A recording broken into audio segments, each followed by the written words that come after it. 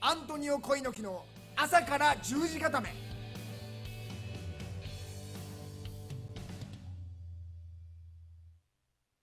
アントニオ恋の木の朝から十字固め。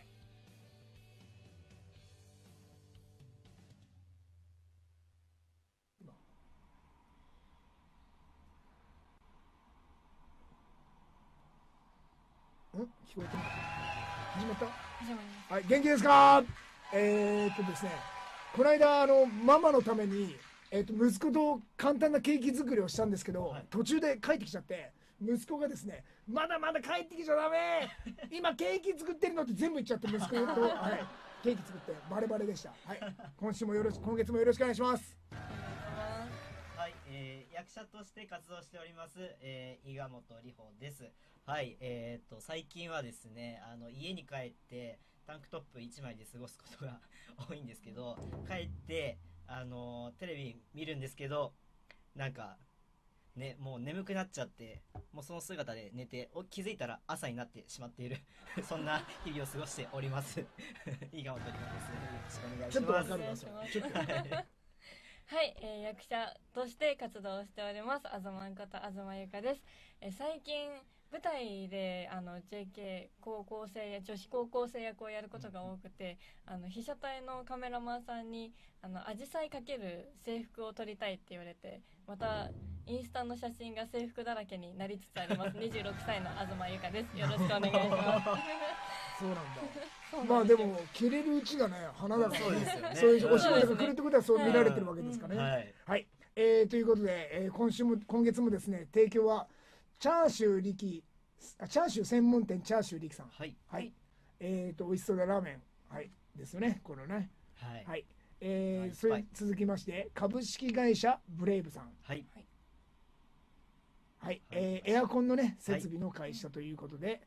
はい、えー以前ね出演してもらいました、そして恋の木もえーとこちらのお店のはいはい。えースポンサーということでイメージキャラクターもやらさせてもらってます、えーそれとですね株式会社ミノル、はい。はいえー、とこちらもエアコンの会社で、えーブレイブさんは、えー東京西、うん町田の方ですねで、えー、と株式会社ミノルさんは埼玉の、はいえー、草加の方を中心にやっているそうですはい。でえーとですね、ちなみにミノルさんのですね、はい。こちら寺島、はいえー、光選手。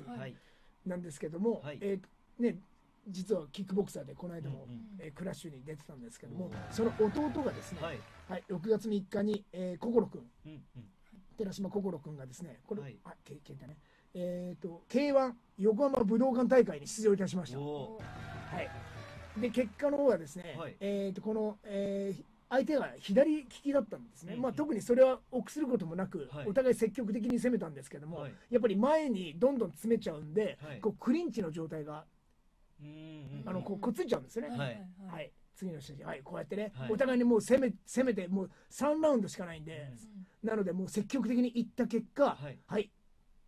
えーなんとドローということで、勝者なしえーでドローということでね、えーまたね、この2人の活躍をね、はい。えー期待したいなというところですね。すねはい。えーまたね、こういうあのミノル選手のね、はい。この寺島兄弟、うんうん。えー社長の息子なんですけども、はい。えー活躍のね、また報告したいなと思いますので、はいよろしくお願いいたします。よろしくお願いします。それでもう一つ、えースポンサー、爆音さんこと久保正武さん、はい。はいはい、なんですけども、えー、となんとですね、こう書いてある通り、男のエステダンディハウスっはい。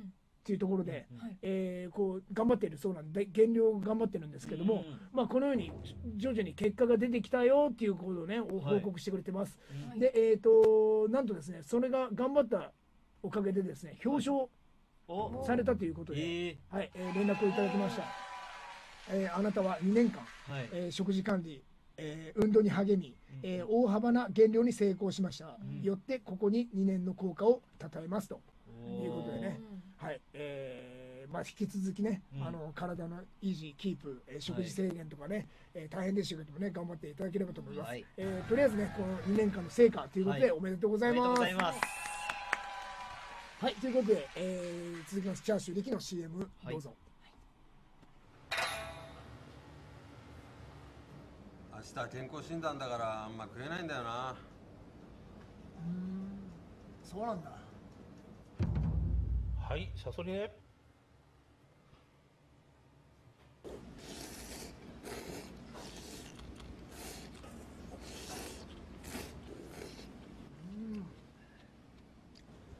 中性脂肪かな。うん。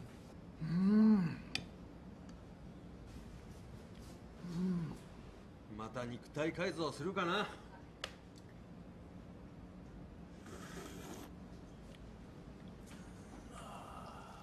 聞いてる？あうまいよ。はいぶっちゃ固め。おおまあいっか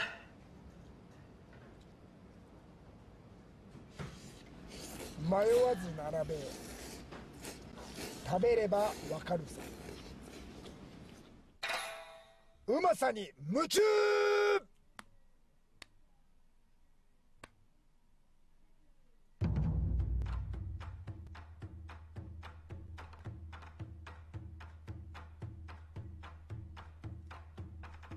さあということで、えー、今回もですねこういうのはい。試合結果情報をねお伝えしたいと思います、そんな情報いらねえよみたいな感じなんですけど。はい、えー、とまずはですね、えー5月9日に行われたベストボディジャパンプロレス、はい。はいえー東京新宿フェイス大会、はい。はいえーなんですけども6人タッグマッチで、うん。はい、なんとみんなプロレスラーの中に混じって、はいえー大きいレスラーいますよね真ん中ね。いいですね。はいはいね。えーとですね、それでですねなんとダンカンさん、はいえーはいはい。ね、たけし軍元元っていうのかな？たけし軍団の、はい。えーダンカンさん率いるダンカンプロレス軍団に、なんとこういうのやられてしまいまして、はい。うん。はいはい、反則攻撃でね、あはい、やられてしまいまして、えーはい。負けて残念ながら負けてしまいまーしたと。あはい、で、えー続きまして5月13日ドラゴンゲート、はい。栃木真岡大会、ーうん。はい。えー、ともう今にも雨が降りそうなそうですね。天候だったんですけども、うん。かろうじてはいなんと雨が降らずに、はい。うん。えー行われてたんですけども、はい。で急遽本当はメインイベントではい。長野正弘さんの、はいはい。えートークショー、はい。えー、と元、えーテレビ朝日アナウンサーの辻義成さん、プロレスの実況でもおなじみだった2人のトークショーが急遽この試合の後に行われるってことで、はい。はい、だったんですけども、まあ、途中からちょっと、あのー後半、うん選手たちのドラゴンゲートの選手たちの試合で雨が降ってきちゃったんですけども、はいはいはい、まあまあ、雨天決行ということでやらさせていただきました。で、えーこの大会もですね、もう第一試合からすごいもう雨なのに、雨予報なのに来てくれまして、うん。なんかちびっこがあそこなんか走ってるじゃないですか。あれも。う飽きて帰るとかじゃなくて、はい。あのなんかブエーンとすごい音が鳴ったんですよね、会場内で。えなんだなんだと思ったら、はい。この写真の左？右？右かな？はい。右でいいのかな？皆さん見てる方、はい。になんかちょっと影があるじゃないですか。このありますね。そうそうはいこれがなんかチェーンソーの音でブエーンとあー音でその音で。急になんかこはい。う襲いかかってきたんですよね、えー怖い。会場内を、うんそれでそのお子供たちがちょっとちらほらと逃げ始めて、うんでこの立ってるおお母さんいるじゃないですか、はい。抱っこしてる。このお母さんもちょっとちょっと警あ戒してそうですよね。うん。はい、だったんですけども、えー、となんとですねこれがですねレザーフェイスという怪奇レスラー、はい。はい、これなんですよ。うわ怖っこれがで乱入してきまして、はい、なんとこのレザーフェイスというのは映画のですね、はい。えーキャラクターの中のあのこのモチーフにした選手で、うん。えー、と悪魔の生贄。っていうこのちょっとホラー映画からね。登場した怪奇派悪役レスラーなんですよね。はい。でそれがなんとですね小猪木に襲撃を仕掛けてきまして。はい、うわ。ーンってうわーと思って。切られちゃう。はいはいはい、なのなんですけどここでちょっと一バトルを行ってるんですよね、はい。で対戦相手が長野正弘さんのそっくりさんのガナガノ正弘、ははい。西口プロレスで引退した相手だったんですけども、なんとこのレックというね会社に、あのー入りましてそこで所属でこうプロレス活動をしていました、うん。でそこに今回呼ばれての再戦だったんですけども、もうこのレザーフェイスに台無しにされまして最後はですねその体力尽きたところに、なんと小猪木はフォール負けをしてしまうというねなんと2連 ,2 連敗というね、うん。残念な結果になってしまいましたね。残念。はい。まあレザーフェイスはあそことっととなんか引き上げようとしてますけど、ね。なんかちゃんちゃんとねあのチェーンソーも持って帰ろうとしてね。ね。まあ大事な武器ですからね。ははい。次はどこに襲いに行くことやらっていうねあの選手ですけどね。はい。はい。まあ大変盛り上がりました。でえっ、と続きまして、はい。えー5月21日東京タワーのふもと神谷町でのはいはい、えー大会でしてうん、これも西口プロレスヘビー級選手権試合ということでね、はい。えー挑戦者は、えー元王者の中村慎介、王座奪回を狙ってたんですけども、はい。なんとこの大会、えー、と場外乱闘の時にですね、はい。次の写真、ちびっ子が非常に多いんですよね。うんでちびっ子がすごい盛り上がってくれまして、はい。このねプロレスをあんまり分かんない世代なんですけどもね、やっぱり何か戦ってたりなんかそうういう姿になんかすごく興奮していただきましてですね。ヒーローショーみたいなはいはい感じですね。はい、で、えー、と試合このままリングに戻されまして、はい。続行しました、はい、でそんな中小猪木が小万字固めというね猪木さんの必殺技、万字固めでですね、はいあの陳助をねあのはい。決めたところで。ちびっこ見てください。またね、あの遊びの続きで乱入してきてるんですよ。そしたら、あの、ち陳助選手がはい、このい左手かな？があるでしょ？はい。この手が、はい。お前危ないから、あの、どっか行け、どっか行けっていうのがあの、ギブアップと見なされちゃって、はあはいい。まあ、ラッキーにも小猪木が勝利したというーね。まあ納得がね、陳助だったんですけども、子供にね、やられたということで、ちょっと子供を襲いに行ったんですよ。はいはい。はい、次の写真。はい。したらもう、ここでも子供たちキャッキャ喜んじゃってですね。はいはいはい。まあ楽しい場外乱闘だったと。強かったのが子供たちだったっていうね、ちょっとハッピーな。はい、あのお祭りのね大会でしたね。うん楽しそうでよかった。はい、うんそうなんです。はい、で続きまして5月30日。ははいい、西口プロレス新宿フェイス大会ですね、こちらも西口プロレスのヘビー級王座がかけられた試合で、はい。えー吉江恒夫というね挑戦者、はい、もう生粋の芸人なんですけども、はいまあ彼がですねまた表現力豊かで、はい、感情むき出しの試合で小猪木のこの首ですか顎ですか、うん。喉元を踏みつけてくるんですよね、はいでその次の写真。であのなんとですね履いてたパンツをですねあいつがもう脱ぎまくってもうパンツかぶせてきたんですよ。そしたら急遽ですね試合がパンツデスマッチみたいになっちゃって レフェリーもなんかかぶらされちゃって、はい、もうで小猪木こんなあい、ね、相手選手が履いてたパンツかぶらされてもう激上しまして、はい、もう小猪木もうわーって感情むき出しの試合に、はい、次の写真。はいもう吠えて吠えて、もうお互いにもう泣きわきめくような、もううわーっていう試合になりまして、はい、最後はですね、バックドロップかな、はい、を決めてはい、見事勝利をしたというね、もう感情的な、もうむき出しの試合だったんですけど、どこがふざけてるというね、そういう、はい、試合でね、大変盛り上がったという試合でしたね。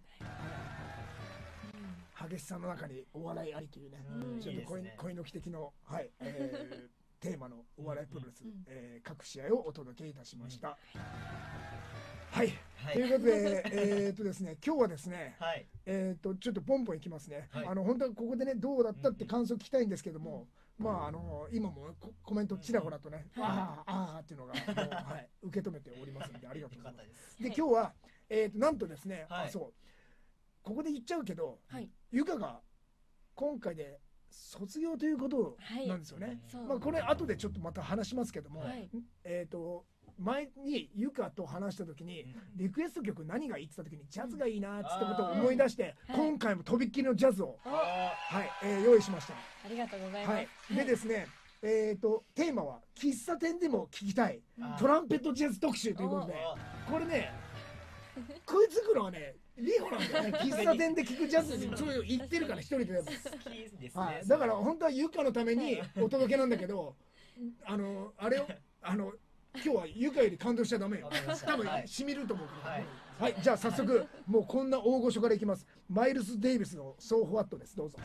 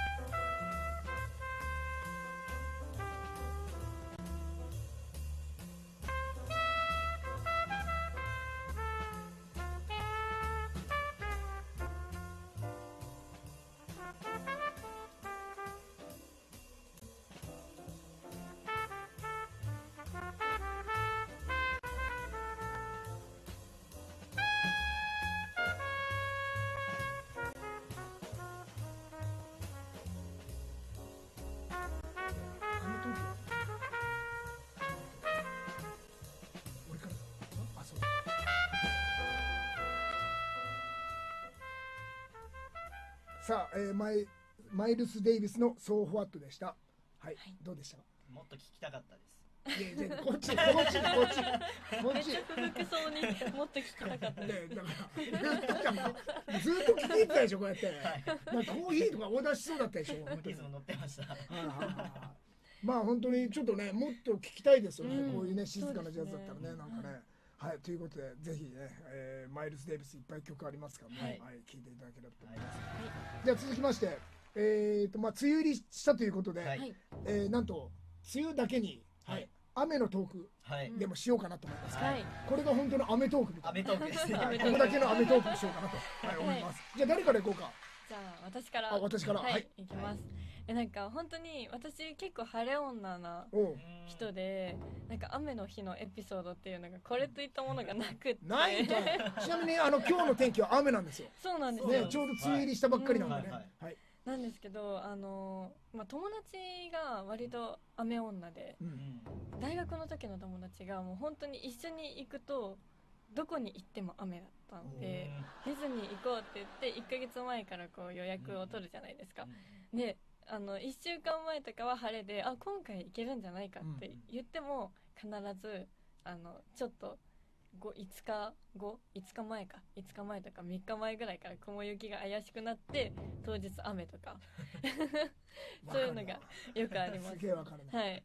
あとは雨の日だとあの大学の時にあの雨の中こうちょっと滑りやすい階段をこう降りてたんですね、そしたらあの一気にガッて滑って転んで、でだんだんだんって3段ぐらい階段落ちて尾てい骨めっちゃなんか、えね、捻挫じゃない捻挫？なんかあの内身内身になった思い出があって雨になるとあなんか滑って転ぶんじゃないかって怖い。い うあの意識になって気をつけて歩くようにしてるっていうのが私の中でのトークですね。はい、これ本当ねこう今男女平等な時代なんだけども階段から転転がる転が落ちるっていうか転ぶっていうのって男の人は安心だけど女の人って本当なんつうんだろうな。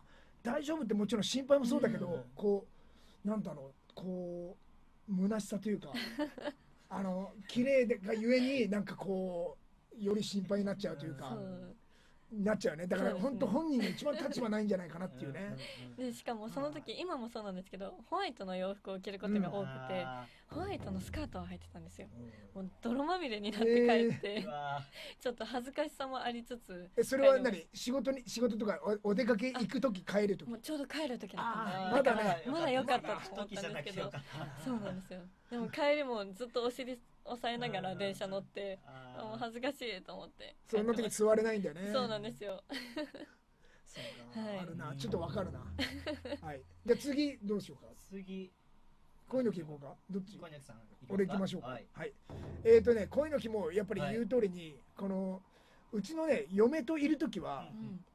え特に婚前かな、はい。えっ、とまあ雨ばっかりで、うん。あのー例えばね土浦の花火もそうだったし、うん。あと伊豆のドライブもそうだったし、うん。えー、とフランスでモデルで行ってた時にはい。恋の木が会いに行ったのね、はい。でそこであるスピアスピルチアルの人にはい「ここでプロポーズしなさい」っていうのがブルゴーニュに行けば分かるっていうふうに言われて、わね、行けば分かるさみたいに言われて、はい。で行ったんだけどももう雨だし土砂降りだし もうプロポーズの雰囲気でも何でもないし で行けば分かるもん全然分かんないからでブルゴーニュ行きたいって嫁に言ったら「ブルゴーニュはどこ行きたいの?」っていうのねはいはい。でそれもしかも、えー、とこっちで言うと東北地方行きたい、東北地方のどこ？はいはいはい。うん、東北地方みたいな言ってるようなことをね 言ってたんだって。はいはい。でまあまあ行けば分かるって言うから一番そういう観光地行こうよっつって言ったんだけど全く分かんないし雨だし寒いしもうそんなプロポーズどころじゃなく結局家でやったんですけども。はいはいはい。でまあやっぱりその夫婦で呼ばれるファッションショーがあったんですね、はい。でそれの時にやっぱり屋外のファッションショー写真どうぞこちら用意してるんで。雨のファッションショーこれ真ん中嫁なんですけども、うん。はい、エリア晴美と申しますね。やばい。はい、なんですけどももうこの際雨天決行だったら傘持ったファッションショーにしちゃおうってことで,、うん。で透明の傘を集めてうん。それでやったんですよね、うん。はいはいはい。で次の写真。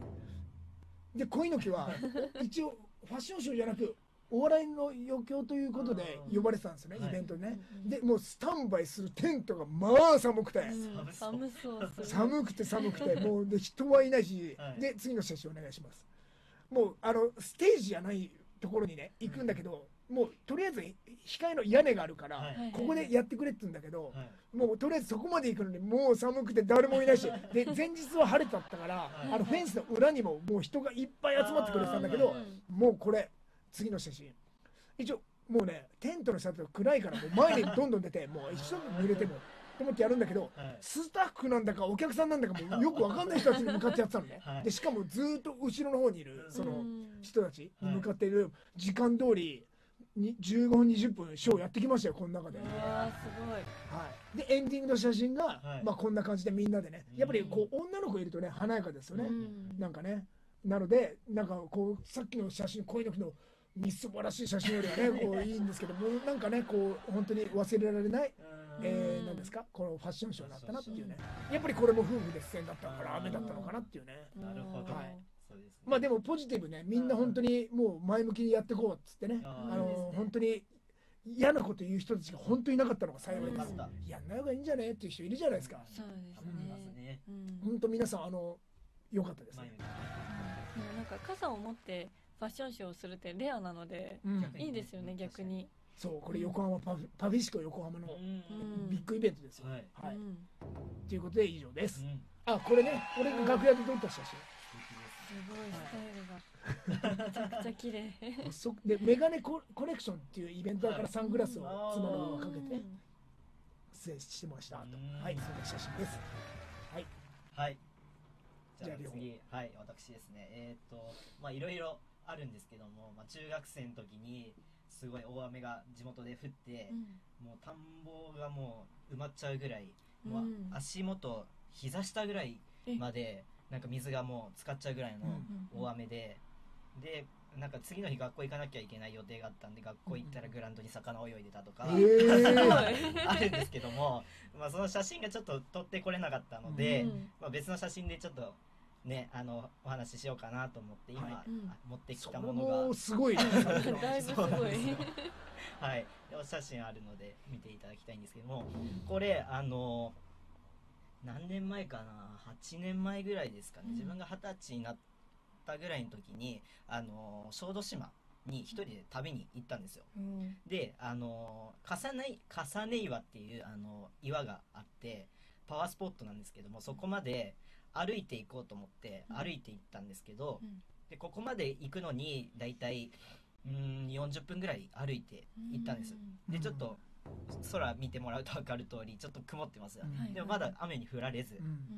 でここ登っていきました。すると次の写真こうこういう写真ですね、うん。でうん。ここすごいねこれ。ともう急なあの階段を登っていっても、結構急だったんですよね、でも息上がりながら上まで登っていって、登っていった先の写真がこれですね。これが重ね岩です綺麗だね。はい、これ瀬戸内海の海です。でもまだちょっと雲行きが怪しい感じの、そうですね。でここまでも雨に降られずうん。行けました、はい。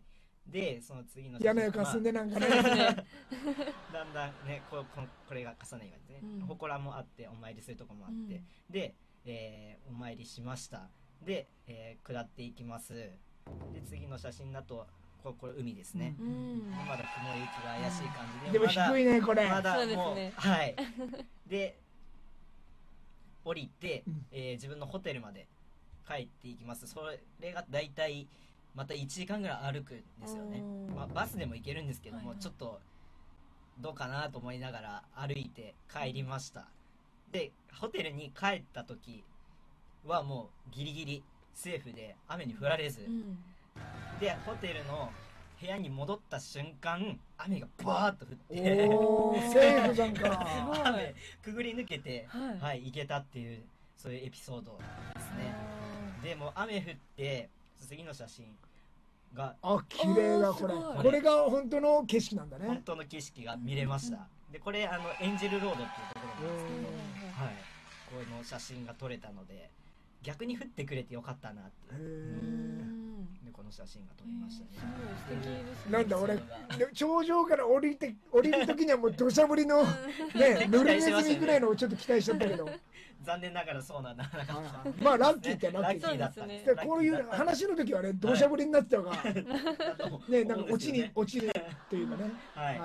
まあでもすごい綺麗な写うん、真、すごい素敵。い。っていうお話ですね。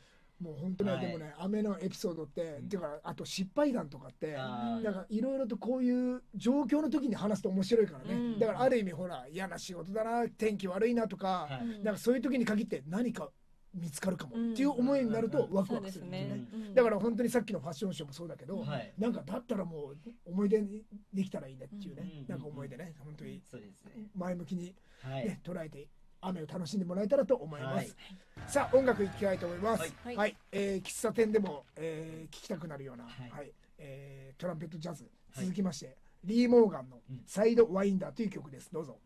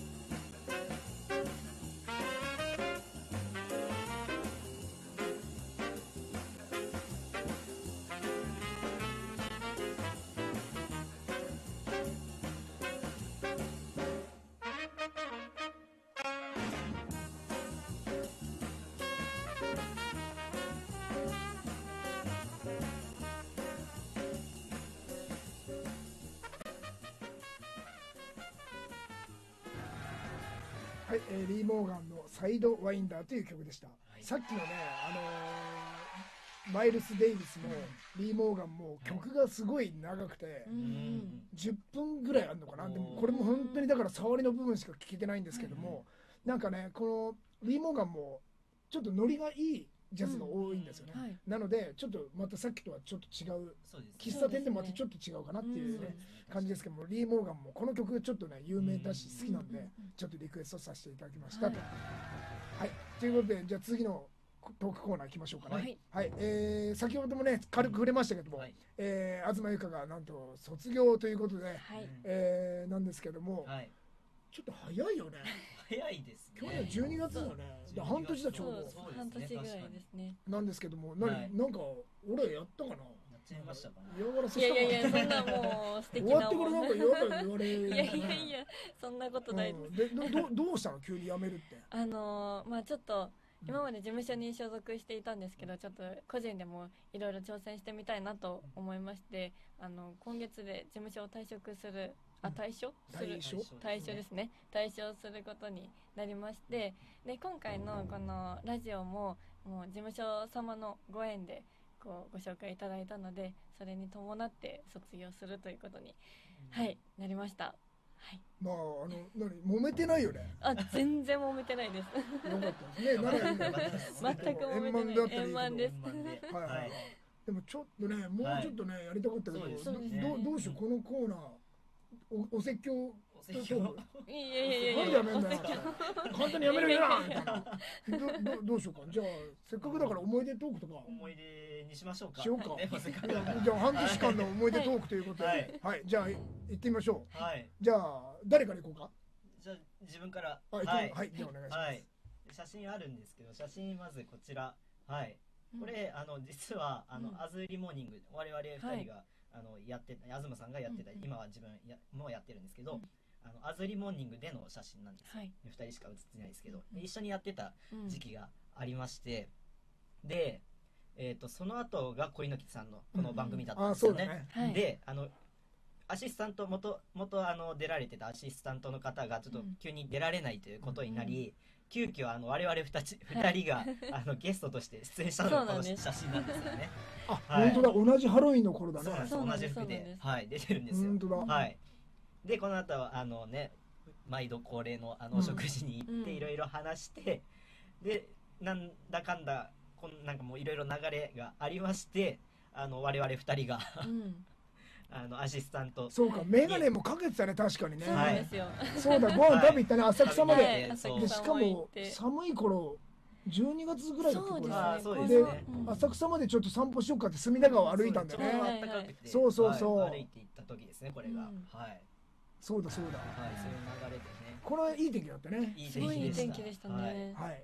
はい。で雷門も行って、うん。観光客みたいなことをして。そうだ観光客と変わらないようなことしてよね。はいしましたうんね懐かしいですね。はいうん。でいろいろ本当なんか行ったんだよねお店ね。行きました。なんかね。あの食事してデザート食べ行って、はい。カフェとか行って。行きましたね。ね。はい。そうだそうだ。あこれもそうだ。浅草だね。れもでもこれちょっと春っぽいよね。そうですね。結構行ったんだよ3ね月4月ぐらいですかねこれ。そうですいろいろとね。行きました行きました。そうだもう本当なんか東京に住んでる我々にもかかわらず 観光客みたいなね。でもこれがいい思い出の写真でね、うん。そうですね。そう。残ってよかったですね。はい。ああなるほど。思い出してきた。っていういきさつでうん。はい。はい。アシスタントになりました。恋の木の思い出はですね、えっ、とこのね浅草の街巡りもすごく印象残ってたんですけど、はい。なんかやっぱりね期間が短かったから、うん。きっと被るかなと思って、うん。で前回終わってから恋の木がね、はいえーゆかの写真撮らせてもらったあ 撮ってましたね。はい。ちょっとねこのね恋の木清楚女子好きだから、はなんかすごいいいなと思って撮ってもらって、うん。で写真をこのスタジオの中でうん。撮らせてもらっうんたんですよね。はいそうですね。でもうちょっとねちゃんとした本当カメラとか照明とかあってたらねこう影とかねなくさせたらいいなと思うぐらい上出来な写真でう、ん。はい、でバストアップもはい。撮らさせていた。だ ありがきましたとうございます。はい、なんかすごいいい写真でしょこれも、いいですね。なんかいい写真だなと思う中でちょっと冷静的な目線で見るとどこ見てんだよみたいな。まあであえて見させたんだけどねちょっとどこ見てみようかみたいなね。はいはい、でも本当にちょっとお気に入りの写真で、なんかすごいこの時お洋服も褒めてくださってうん。はいめっちゃ嬉しかったなって。いや本当こういうね清楚女子好きなんだよ、うん。はい、で一緒にツーショットも撮って、ははい。はい、でこれをきっかけに、えー、ゆかが辞めるっていやいやいやあ違う。違います違いますよこれだった。違いますよ。ってはい、でもツーショットも撮って、はい。はいはい、あのこれ結構あのおいい思い出というかね、うんうん。なんかすごくゆかの魅力がたっぷりそうですね。うん。感じたなっていうね写写真真ですね。ありがとうございます。はい。じゃあ最後に私はい、行きましょう。はい。なんか先ほどあの伊賀本さんがうん。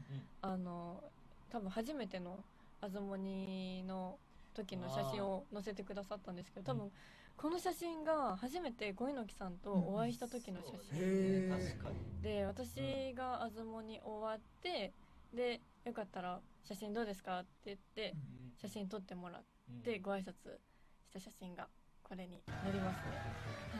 はい。なまだ夏ぐらいですかね、半袖ですもんはい。ね夏ぐらい夏ぐらいでですよねまあ、まさかこんなアシスタントとして お声かけていただけるって思ってないそうだよね、そうはいジャズ頃ですね。ダンスしてるっていうのでちょっとねそうですそうです。意気投合したんだはい、ダンスしてストレッチとかも体も柔らかいですっていうお話そとかもうだそうだ。はいさせていただいてて。うん。はい。なんか思い出してくるないろいろと。そうですね。でうん2枚目ですね。これがあの先ほど伊賀本さんがおっしゃってた、うん。あの初めて小猪木さんの番組に出演させていただいた後に行ったご飯屋さんはい。になりますね。そうですこの時にいろいろたくさんお話しさせていただいて、うんよかったらやってみない？ってお声かけいただいた、うんうんはい。で手前のねあのマネージ家事マネージャー。ですね、はいはいはい。じゃああの前向きに決定ししましょうっていうか、ね許可をいただいてうん。決まったんでね、はい。そうだそうだ行ってよかったなって めちゃくちゃ思いましたこの時に。このさはい。あの浅草橋のリトルヤミーさんのはい。オムライス専門店だよね、はい。ここも美味しかったよね。美味しかったですね。ねえ。で居心地も良かったし、うんですよ。であのこの後あのお客さんほらあんまりいなそうだけど、はいはいはうちらがラジオ終わってから行くから、うんあのと早めなんランチタイムでちょっと早めだから、うん。本当にゆっくりできてね、うん。この後もうビジネスマンたちがうわー来るそうし、ですね。あとママさんたちもね多かったよね、はいうんあとテイクアウトもできるようなお店だったから、はい。すごく大人気で。はい。食べたかったですけど。また行きたいな、うんここ、ね行きたいですね、ぜひ行きましょう。はい。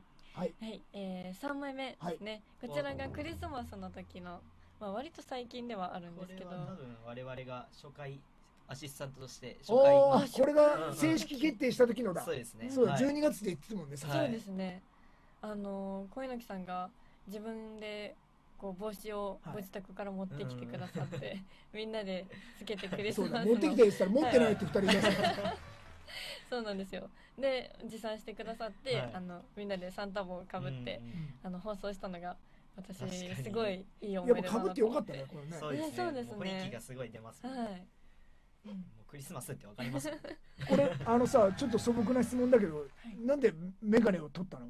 あ確かにこれなんですけど、うん。あのアズーリモーニングってモニター越しにこう画面をお天気情報とかを見るんですけどそれが最初見えなくて、であのコンタクトの度数とメガネの度数が違うんですよ私。なのでアズモニの時は基本的にメガネ。なるほど。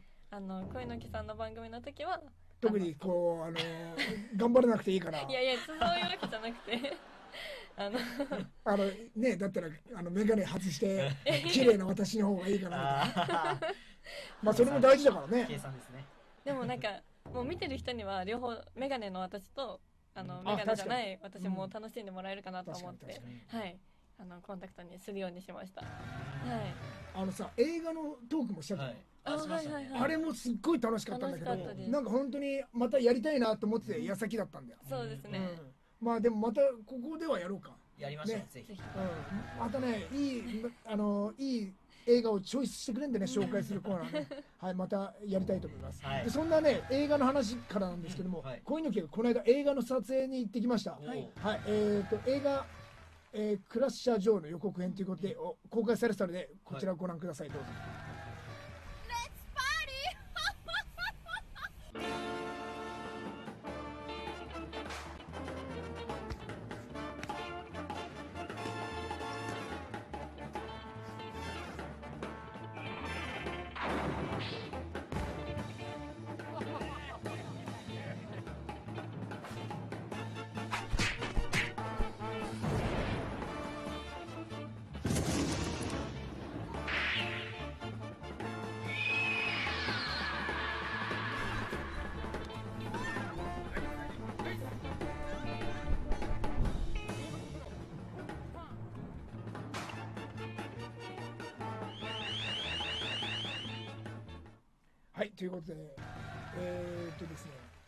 まあ見ての通り、えー、っとですね、リホが好きな、えーヒューマンドラマでしたね、これね。まあドラマでしたはいかこれあのユカが好きなあのロマンティックな恋愛映画でしたね。あらそうですか まああのですね、芸人のレイバー佐藤さんこと佐藤文則監督はい。の作品で、うん。クラッシャーシリーズというこういうコメディ、ヒーローモンコメディをはい。たくさん作られてるんですよね。で、はい。今回クラッシャージョーということで、うんえーミラクル光るあのさいうん。はい。さっきあのねなんかはい。はい。とか、えーとあとゴンゾーというねタンバリン芸人などなどね、そういう結構有名どころも出てますのでぜひあのお楽しみください。まあ純粋に頭も全く使わない必要のないコメディ映画ですね。うん。と思っていただければ、うん。はいはい多分何にもくあの 考えさせられることはないんじゃないかなと予想しております。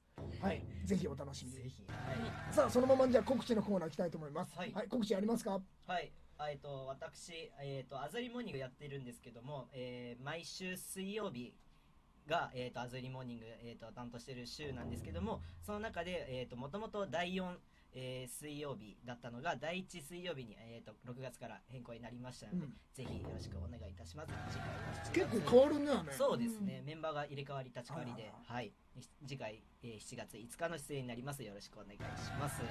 はい、はい、えー私これといった告知がないんですけれども今のところ。でもこれでさ移籍してさ事務所移籍なんだがあのフリーになったと,、えー、と私のちょっといろいろスケジュールがですね何月何日何々何月何日おそんな入ってんのかみたいな。やめる前提でも話も作っちゃってんじゃねえかみたいな。まあ確かにねそれは今リセットの段階ですからね、なので、はい。あのまだちょっと告知はないんですけれどもあの各種 SNS をやっております。Twitter、Instagram あと TikTok もあのたまに毎日投稿したりやっておりますのであのアットマークあずまスペーススペースゆかで検索していただければ出てくると思うのでぜひチェックお願いいたしまたます。最新情報ね、はい。あの期待してます。はい。はい。はい、じゃあ、恋の日いきます。はい、えー、6月23日、静岡県レック吉田工場というところで、あのプロレスの大会、全日本プロレスですね、出ます。はい。はい、えー、で続きまして、えー、と6月24日、全日本プロレス、こちら、連日ですね、愛知、はい。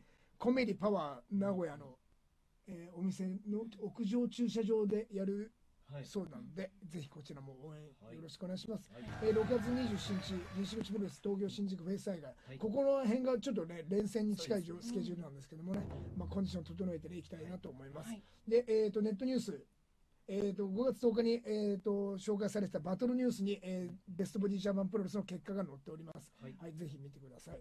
えー、と6月3日、えー、と中本浩二さんのお墓参り行ったことをブログに書いたら、えーニュースになってたということで、はい。えーとですね、こちらもぜひね、チェックしていただければと思います。で、YouTube かな、はい。次。あ、これが、えー、と前回の、えー、鳥越アズレフェム、アントニオ・コインの時の朝から10時固め、はい。えー、とし4月10日配信のがアップされています。はい。はい、なので、ぜひこちらもね、えー見ていただければと思います。はい。えー5月25日、えー20世紀たぬきというね、あ、あ違う、えっ、と、あれだね、ベストボディジャパンプロレスのさっきの、えー試合結果の YouTube ですね、がアップされてます。ちょっとだいぶ画像が荒くてすいません。はいはいはい。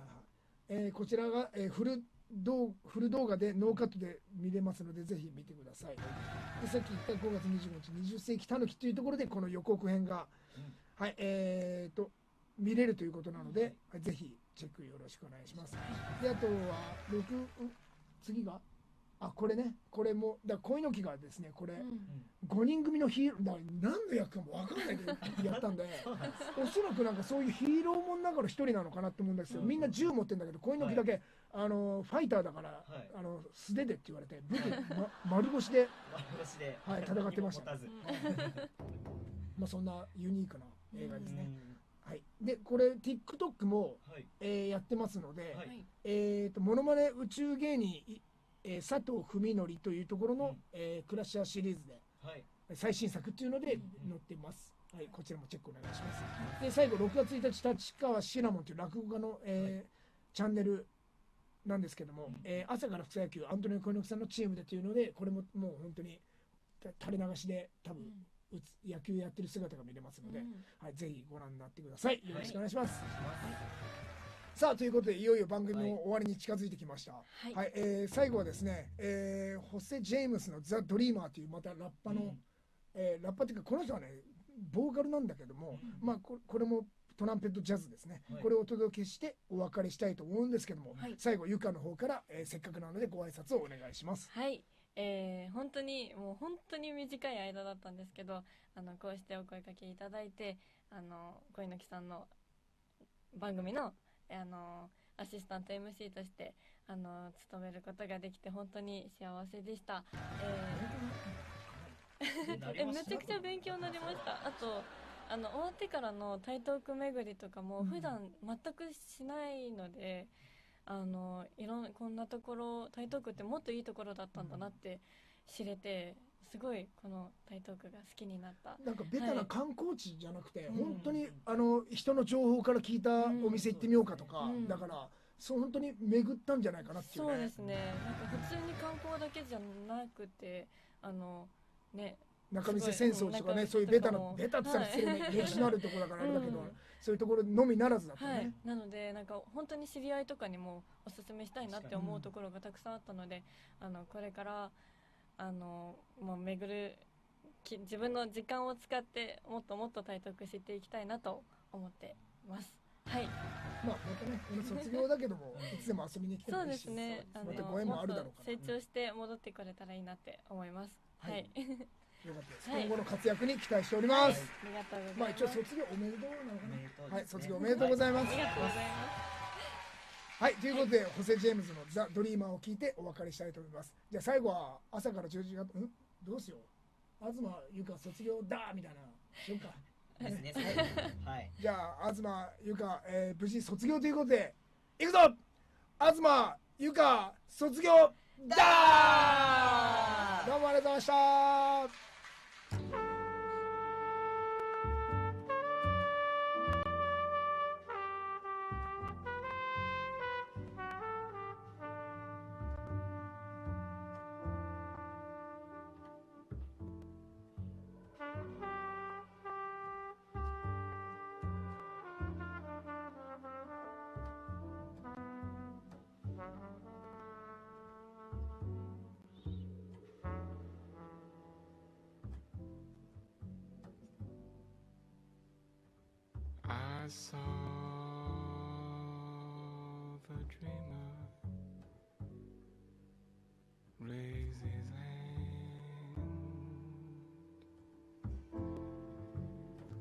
into a world of possibilities. Yes.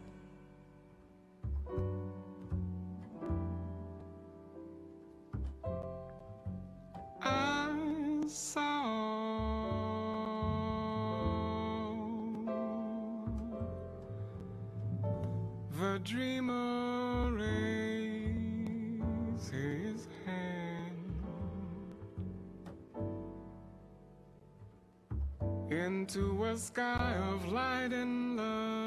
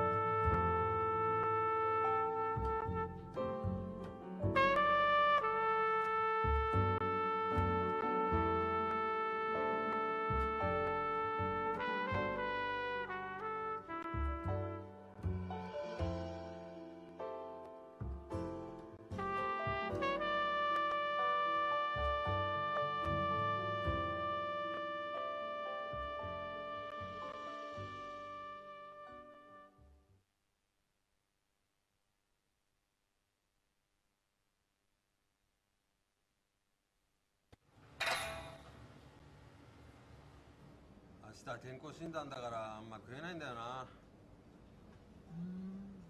そうなんだ。はい、サソリね。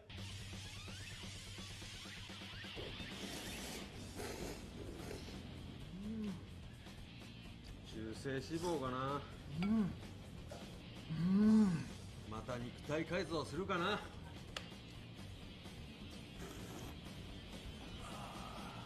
浮いてる？あ、うまい。よ。いぶっちゃめ。おおまあいっか。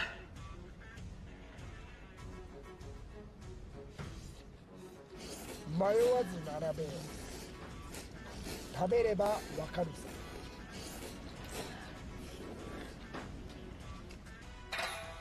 うまさに夢中。